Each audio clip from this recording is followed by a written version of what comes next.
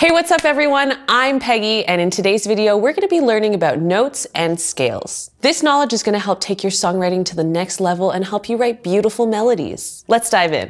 Oh my God, oh, I had it so good before when I was just chatting, and now I have no idea what I said.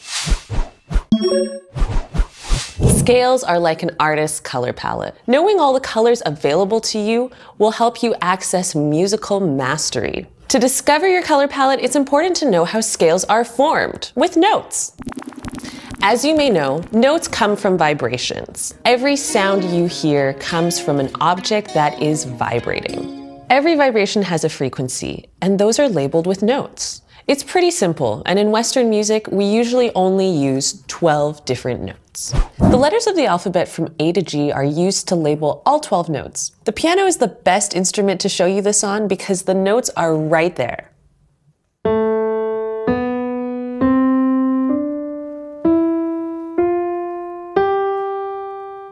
Yes, there are only seven notes, but the black keys are there to fill in the other five. The black keys are relative to the white keys, and we give them one of two names, either sharp or flat. Indicate a flat with a small b or a sharp with a hashtag after the letter. Sharps raise a note by one step, and flats lower them by one step. For instance, the black key above C is called C sharp. But the same key is also below D, so we can call it D flat. Both names are used, and it depends on the musical context or the musical key that we're in. If you look at the piano, you'll see that it's huge. It can be pretty overwhelming, but it's important to remember that there are only 12 different notes.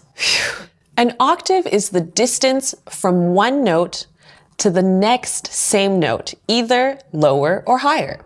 For instance, this is a C, and this is also a C. The only difference is that one is higher than the other.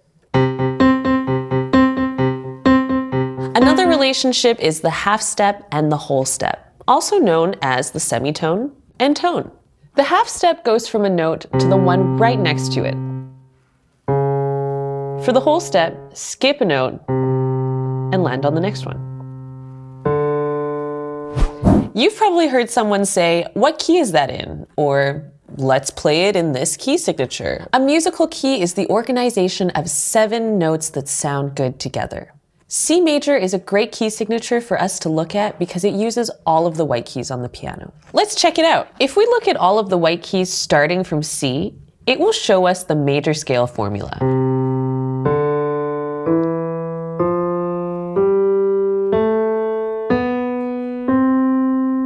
The major scale is something you should memorize to make your musical life easier. The major scale is comprised of the whole steps and half steps that we covered earlier.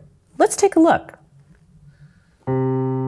Whole step, whole step, half step, whole step, whole step, whole step, half step. You can also just say WWH, WWWH.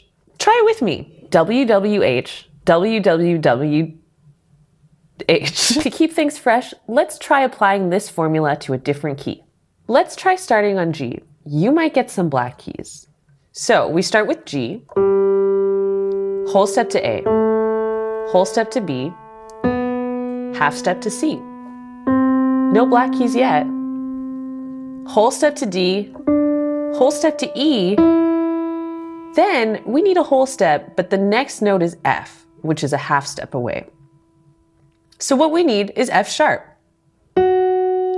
which then leads us to a half step back home to G. Start on any white key to practice. Follow the formula and the musical alphabet and be careful not to skip or repeat any letters. It's true that if a scale starts on a black key, it could have two names. For instance, D sharp or E flat. So which one do you use? That's a great question. When we start on a black key, use flat key names to build your scale. Let me demonstrate this for clarity. This black key is called D sharp or E flat. Let's try to build the scale starting with D sharp. Remember, we're not going to skip or repeat any letter names. So, D sharp, whole step to E sharp, then whole step to F double sharp. That's a G. And I think this is maybe a little confusing. Let's try it with flats. Starting with E flat, we have a whole step to F, a whole step to G, half step A flat, whole step B flat, whole step C, whole step D, and a half step back to E flat. That's way easier. Now you can go ahead and practice this. Start with any key and follow the musical alphabet and major scale formula. Now you can play a major scale starting on any note. Have fun! Once you've internalized the major scale, you can use the notes out of order to create beautiful melodies. Pick a key, select a few notes, and add a sense of rhythm. It only takes a few notes to make a great melody.